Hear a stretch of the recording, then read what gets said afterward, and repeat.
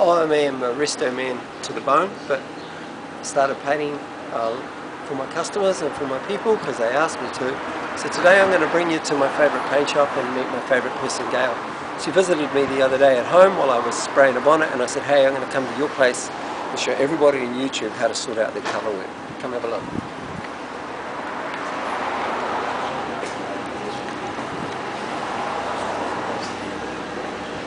The paint distri distribution centre. Gail over there with the customer is my paint technician. She used to be a spray painter, so she's qualified. She knows what to do and how to spray and how everything works. So she helps me out with all the colours. It's too expensive for me at home or for you in the garage to have all the tinters and all the materials that you need.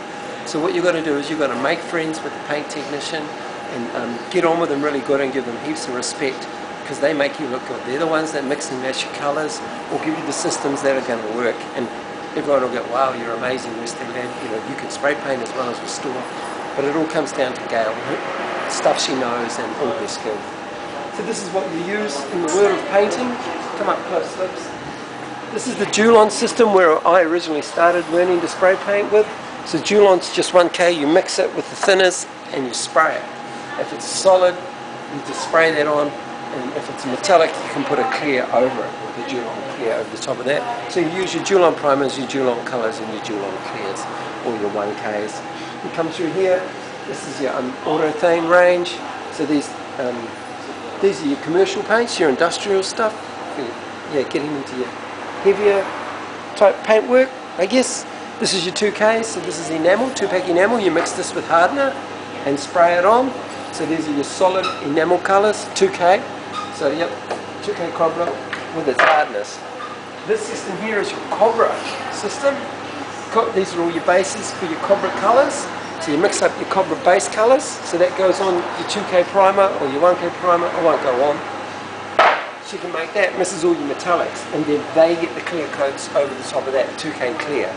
So that's your base coats, 2K base. So, same in your Cobras.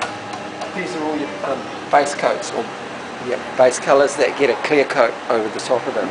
This is the Deltron system. This is the uh, newer range of of um, Cobras as well. Again, this is your 2K, 2K um, clear coat over a base. These are all your late model base colours.